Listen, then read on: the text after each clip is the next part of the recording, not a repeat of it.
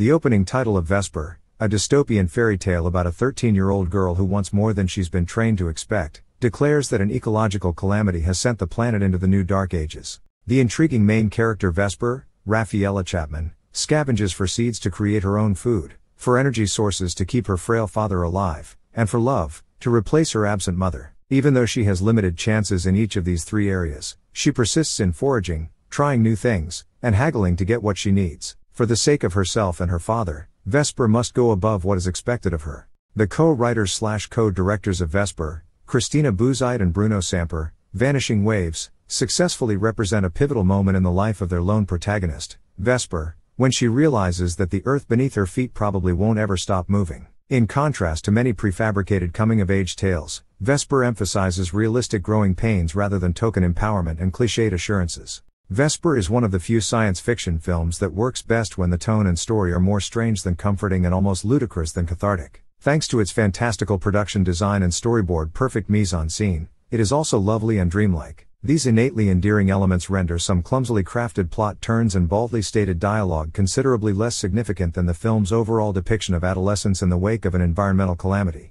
Buožytė and Samper swiftly establish the chilly nature of Vesper's hierarchy bound universe in a few early scenes. She quickly learns that her father Darius, Richard Brake, who is bedridden, needs more electricity to survive. As a result, Vesper contacts Jonas, Eddie Marsan, the brutal leader of a cult like facility that exchanges sex, blood, and other bodily fluids for things like food, housing, and authority. Vesper informs Jonas that she doesn't want to become a breeder like some of the other ladies in his organization because the conditions of his assistance are too strict. Sadly, Vesper is aware that the restrictions are too strict. He mocks her without correcting her, though. Vesper receives a warning from Jonas not to get her hopes up about changing her precarious position in life. He tells her, you think you're superior than everyone else. Unfortunately, Vesper is reminded by others that she lives in an unwelcoming world and should reduce her expectations. This includes people besides Jonas. You don't know the price of dreams, Darius tells Vesper through a robot that follows Vesper about doing her daily chores. Though both men evidently desire to safeguard Vesper for different reasons, the warning's menacing connotations are obvious and reasonable.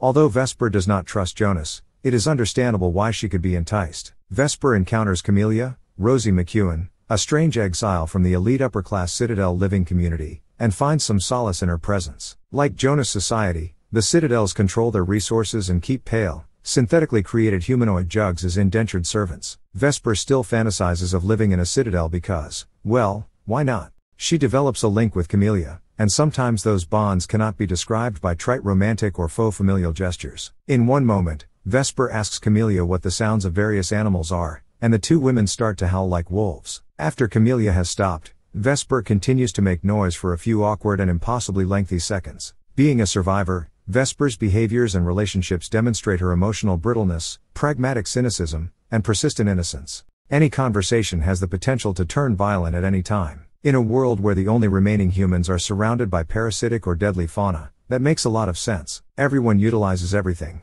which gives Marsan's unrepentant manipulator the distinct ability to be both a compelling antagonist and a seductive voice of reason. He represents humanity in a setting that is both blatantly hostile and somehow alluring.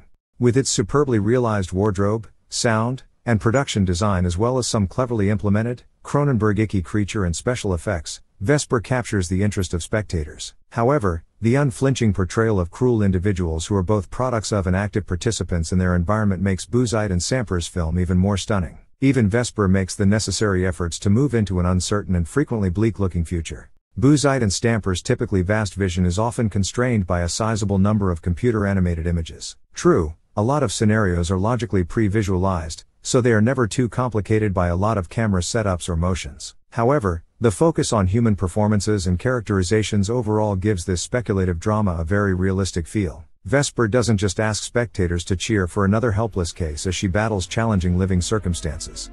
Instead, it asks us to spend time with a young protagonist who believes she is about to make a breakthrough and causes us to worry that she might be mistaken repeatedly.